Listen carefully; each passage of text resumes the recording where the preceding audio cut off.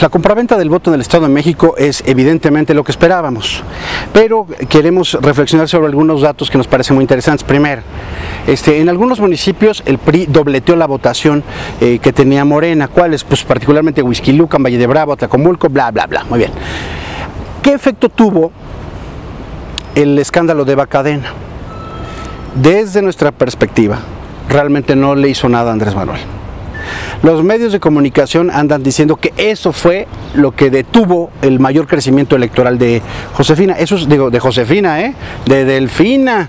No me vayan a matar. Bueno, entonces el asunto está en que efectivamente esta mujer con este escándalo, este libreto tan estúpido, ¿no? De este Morena me dio dinero para financiar a Morena, después exhibirme como que yo, bla, bla, bla, bla, bla, bueno, esa vieja no.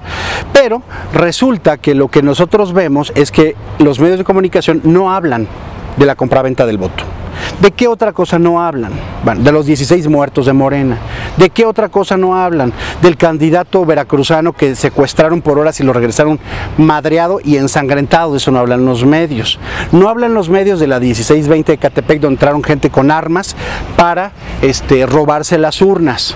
También sabemos que en, en este municipio Tecámac, también en Tecámac, resulta que llegaron en madrugada y se querían robar las urnas, no lo lograron. De eso no hablan los medios. Entonces, los medios te dicen, la culpa fue de Obrador.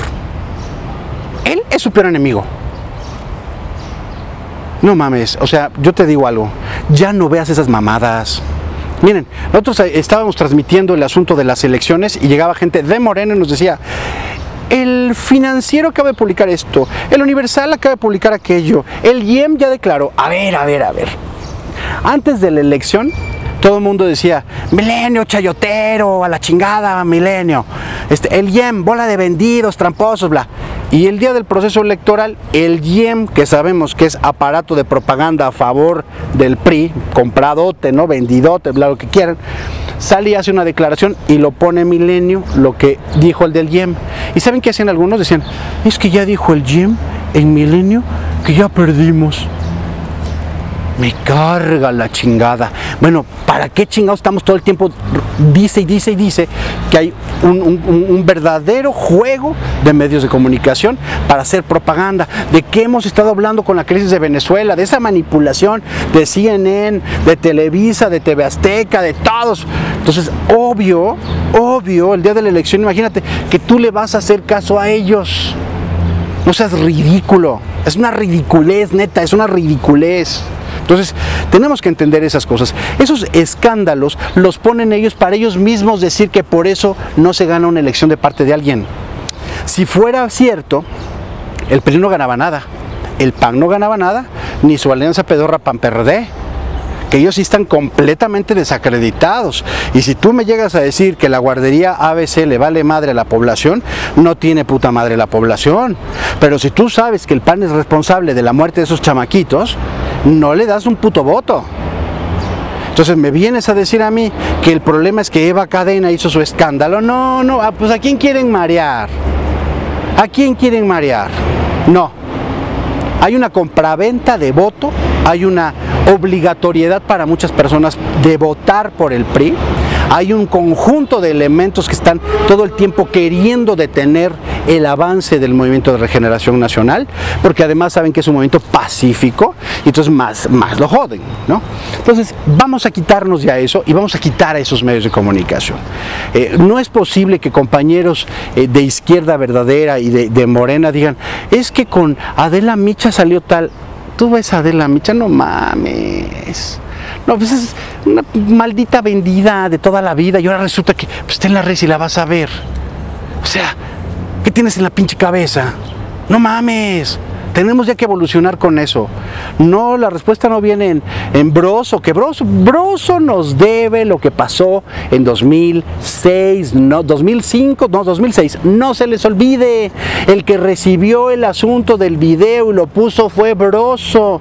Por más que haga y haga y haga Broso, no hay perdón y no hay olvido, porque no fue contra Andrés, fue contra una población que ya estaba hasta la madre del régimen. Y ahora Broso dice las verdades. no le creo a Broso, no le creo a Adela Micha, no le creo a Ciro Gómez Leiva, a José Cárdenas. Y si Andrés Manuel les da entrevistas, oye Andrés ya estuvo. ¿Quieres quedar bien con ellos sabiendo que te van a estar apuñalando? Ya de veras, que, pero ¿qué está pasando? Ay, ay, voy con Televisa para que manda a chingar a su madre a Televisa. Te van a chingar de todas maneras. Por más que le hagamos, es que son los espacios. Mira, ¿sabes qué? Los espacios están en las redes sociales. Los espacios están en la comunicación alternativa. Y ellos nunca están hablando bien de ti porque ellos quieran. Y cuando te invitan te quieren madrear. ¿Sabes qué? Ya son fuertes porque tú les das rating. Tú les haces el favor de darles rating. No se lo merecen, Andrés. Porque la afrenta que tenemos es contra el pueblo de México. Ellos, esos medios, Adela, José Cárdenas, si llegara una pinche dictadura de la derecha, ellos seguirían ahí como si nada. No saldrían a defenderte, no saldrían a defender la democracia.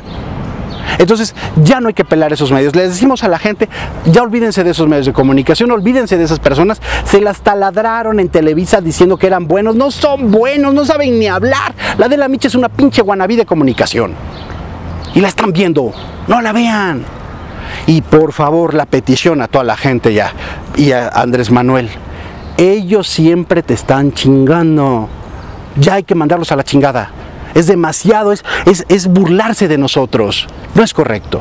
Entonces les pedimos a todos que ya hagamos la experiencia total de cerrarle toda la comunicación a esta bola de ojetes que solamente se la pasan chingando.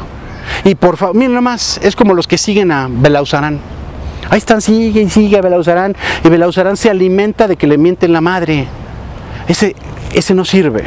Entonces ya no lo sigas, bloquealo. Ay, pero tiene derecho a expresarse. Ah, bueno, tiene derecho a expresarse. Eso de que él tiene derecho a expresarse, pues que lo haga. De ahí a que tú lo sigas, pues ya tienes que ser tú muy bruto. Entonces, desde el Hijo del Rey te decimos, es hora de sacar a toda esa gente, porque todos ellos en conjunto vienen contra ti.